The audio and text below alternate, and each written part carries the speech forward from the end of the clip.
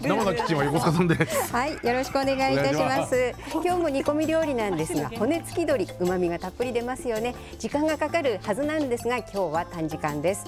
えー柔らかく煮込みました。材料です。はい、鶏の手羽元と手羽先、ちっちゃい骨付き鶏ですね。使っていきましょう。じゃがいもと思った方、りんごでした。ごめんなさいね。ニンニクと玉ねぎも入ります。調味料は特に変わったものないと思うんですが、粗挽き胡椒をね、ちょっと用意した。ごめんなさい。ローリエです。ローリエ。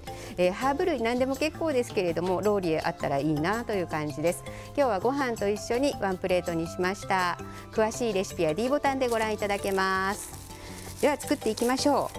今日の味付けなんですけれどもフィリピンのアドボからヒントを得ましてですねあの臓物とかいろいろ入ってるタイプなんですけれど今日は手羽元手羽先だけで作っていきましょ横須賀のふるさとですね。う ちょっとそうそうですか。違う違う違う。日本だったはずなんだけどなこれね火の通りがなかなかいかないっていうのはここが閉じてるからですよね。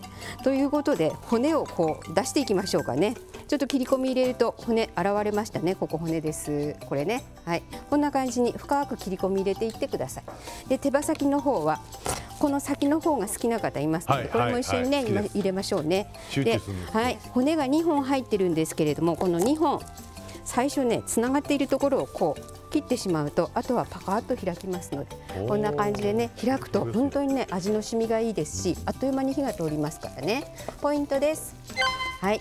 なるべく深く切り込み入れてくださいね。とは言っても切り離さない程度がいいんですけれども火の通りを早くするためそして味が染みやすいです。あと食べる時も女の人に親切ですよね。スルッと取れますからね。あぐっと噛みつかなくていいですよ。では火を通していきましょう。まず最初に潰したニンニクと粗みじんの玉ねぎです。はい。ちょっといい香りがするまでね少し炒めてください。ジュジュジュジュジュっと。はいいい香りがしてきたら私はしてます。大丈夫です。はい近いですからねでは入れていきましょうこの時もねあのなるべくこうバッといきますけれどもこの肉の面を下にこうやってね入れてあげると火が通っていきますからほら切り込み入ってるからぐっと開けますよね。はいこうしてこうして。少しね色がつくまで焼いていきましょう。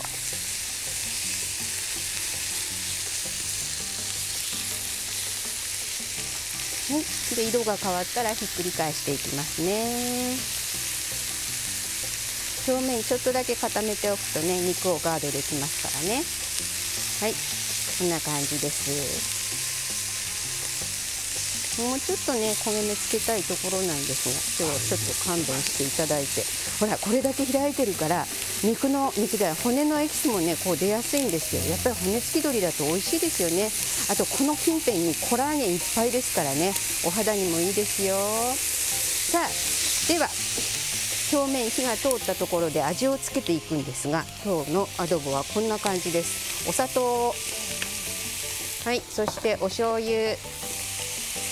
はいあとはお酢です。このお酢がねちょっと多めに入れてあげるといいですよそして材料が半分隠れるくらいのお水とローリエなかったらねローズマリーなんかでもいいですしミックスハーブでも結構ですちょっと洋風の香りつけてあげるといいですよさあポイントですはい、お酢が入りました。お肉が柔らかく煮えますし、あとさっぱりした味わいになりますからね。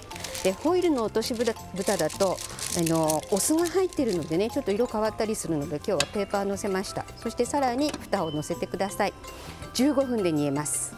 15分で煮えたらちょっと煮汁が残ってると思いますので、どんどん強火で飛ばしていってください。ほら見てこんなツヤツヤですよ。美味しそうですね。さあここで登場するのがどこ行った？リンゴリンゴ。リンゴリンゴリンゴ。リンゴがあったからリンゴ入れてみました。そしたらね合うんですよこれが。ちょっともさもさっとなってきたようなリンゴでもいいですよ。ただしポイントです。はい後から加えてくださいね。このねりんご柔らかく煮るよりもちょっと中にねなんて言うんでしょうサクサク感が少し残ってるくらいがいいので一緒に煮込まないで最後に加えるだけです。表面は柔らかいんだけれども中はサクサクのりんごの爽やかな風味を生かしてくださいね。はい。表面こうだんだん色変わってきましたのでこんなもんでいいんじゃないでしょうかね。はい OK です。では。美味しいですよ。あらこぼしちゃった。ごめんなさい。はいお肉たっぷりね。そしてこれりんごですよ。苦手な方もねこれりんごあのお料理に入ってても美味しいと思いますよ。私は好きです。はい。さあでは仕上げに。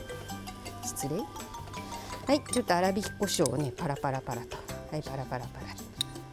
これもいいアクセントになりますからねはいできました。ご飯と一緒に食べてください。あこうか？こうこうですはいこうでした。はい、完成です。